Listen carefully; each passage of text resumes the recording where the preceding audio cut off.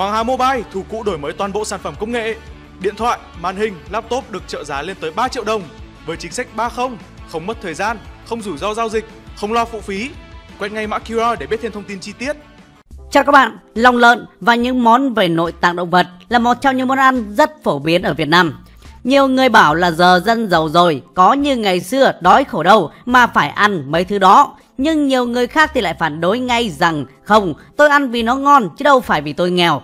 Vậy thì trong video hôm nay chúng ta hãy cùng tìm hiểu xem nội tạng động vật ăn có gì tốt, có gì xấu và nếu có cái tác hại xấu thì cái ngon mà chúng mang lại có xứng đáng để đánh đổi với rủi ro cho người ăn hay không? Chúng ta hãy cùng tìm hiểu các bạn nhé. Đi luôn vào vấn đề thì các bạn hãy cùng xem đây là bảng thành phần dinh dưỡng trong các thứ nội tạng động vật theo nguồn của Viện Dinh dưỡng Quốc gia Việt Nam nên là các bạn yên tâm về độ tin cậy. Trước hết nội tạng là gì? Thì như các bạn thấy chúng bao gồm có óc, tim, gan, lưỡi Rồi thực tế thì chúng ta còn có ruột non, ruột già Rồi nhiều thứ khác trong bụng con lợn nữa Trong mỗi thằng này thì các thành phần dinh dưỡng lại khác nhau Ví dụ như nhiều cholesterol nhất là óc Gấp hơn 10 lần so với tim trong khi nhiều chất đạm nhất lại là gan, Còn nhiều chất béo nhất là lưỡi, Nhiều sắt nhất là gan, Nhiều vitamin nhất cũng là gan. Đầu tiên, hãy nói về gan. Có nhiều người quan niệm rằng ăn gan là rất độc, bởi vì xét theo chức năng thì gan là có nhiệm vụ giúp cơ thể giải độc. Bao nhiêu cái độc trong cơ thể, nó tích tụ hết về gan, Rồi gan mới chuyển hóa và đào thải ra ngoài. Thế cho nên, ở gan sẽ tích tụ nhiều chất độc. Và cũng vì thế mà ăn gan lại chẳng khác gì ăn lá ngón.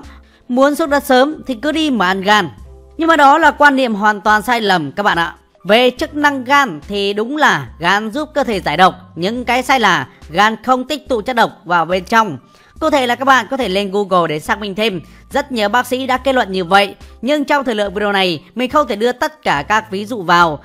Nên mình sẽ lấy chia sẻ của bác sĩ Lê Văn Thiệu ở Bệnh viện nhiệt đới Trung ương để làm ví dụ.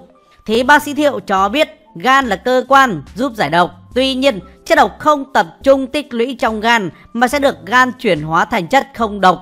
Sau đó chuyển hóa tiếp ra ngoài gan và ra khỏi cơ thể. Vì thế, việc nói rằng gan là nơi tích tụ chất độc là không chính xác.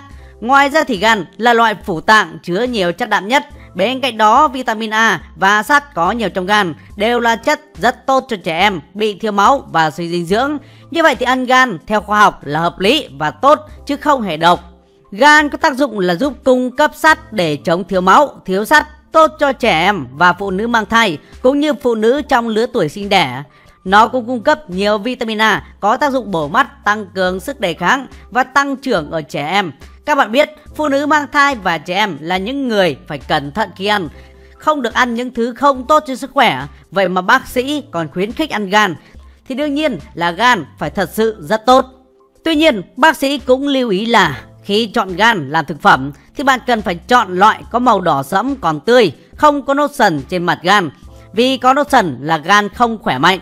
Tránh chọn mua gan của những con lợn có dấu hiệu bị bệnh Và quan trọng nữa là khi mua về thì hãy cắt lát mỏng Rửa sạch bằng nước lạnh Rồi lấy khăn thấm cho khô hết máu Tại sao lại làm như vậy?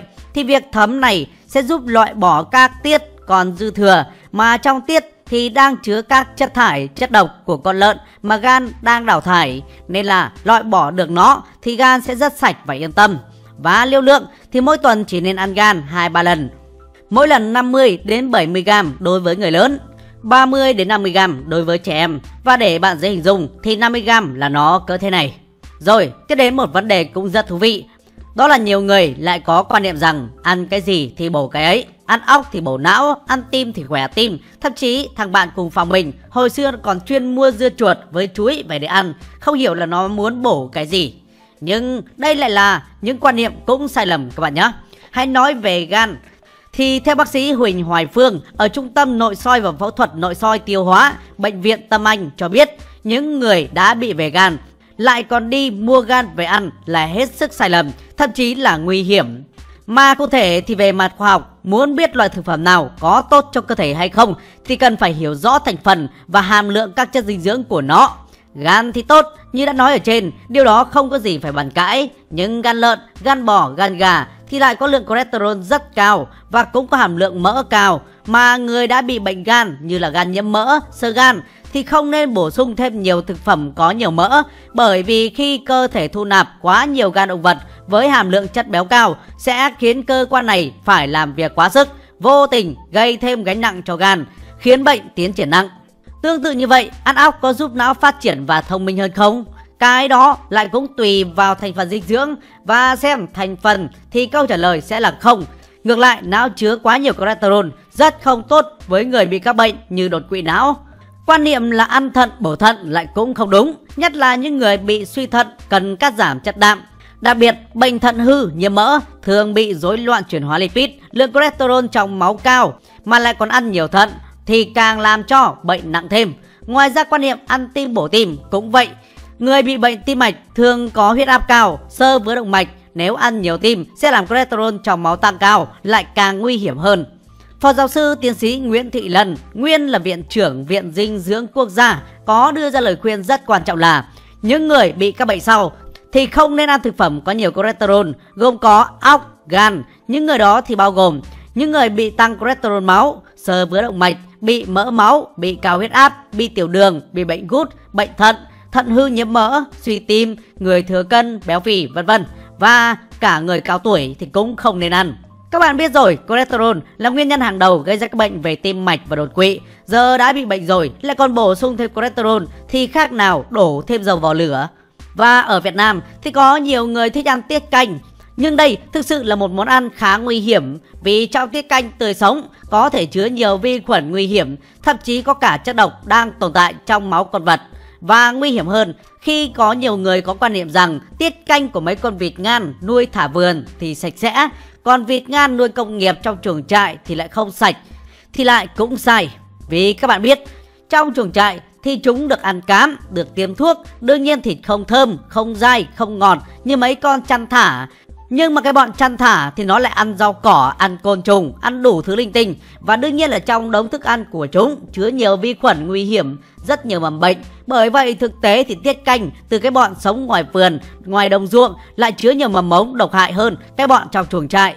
Nhìn chung thì chúng ta thấy là các loại nội tạng rất bổ dưỡng. Chúng nó có rất nhiều chất dinh dưỡng quan trọng từ vitamin đến khoáng chất đến protein rồi các chất cần thiết khác. Và người thường khỏe mạnh thì ăn thoải mái không vấn đề gì, thậm chí có thể nói là tốt. Nhưng ngược lại, những người bị các bệnh trong video đã kể trên thì không nên ăn, đặc biệt là ốc. Vì ốc có quá nhiều cholesterol. Và để có được sự yên tâm, ít rủi ro thì cái quan trọng nhất là phải tìm được nguồn thực phẩm tươi sạch chứ còn mua mấy cái đã bị bốc mùi. Ví dụ mấy lần báo chí đưa lên những thực phẩm bẩn nhập cả tấn đầu về rồi ngâm hóa chất cho nó sạch hết mùi thì loại đó ăn vào chẳng mấy mà có cái dỗ đầu tiên. Và quan trọng nữa là cũng phải ăn vừa phải, điều độ các bạn nhé. Ăn mà thấy ngon quá rồi chén cho đá cái miệng thì sao lại đau cái đầu. Chúc các bạn luôn khỏe, có lối sống lành mạnh và bổ sung thật nhiều kiến thức về dinh dưỡng. Nếu thấy hay thì đừng quên like và chia sẻ video này cho người thân, bạn bè các bạn nhé. Các các bạn đã xem video. Xin chào và hẹn gặp lại.